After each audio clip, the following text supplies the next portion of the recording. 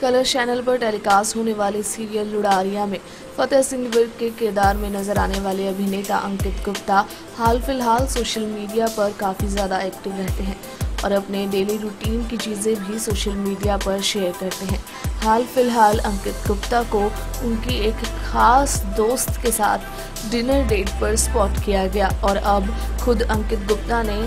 इस बात का प्रूफ भी दिया है। उन्होंने अपने यूट्यूब अकाउंट पर एक शॉर्ट वीडियो शेयर की है, जिसमें वो तनवी पठानिया, यानी कि उनकी वो खास दोस्त, जिसके साथ वो डिनर डेट पर गए थे, उनके साथ वाली एक छोटी सी वीडियो क्लिप शेयर की है। इस वीडियो में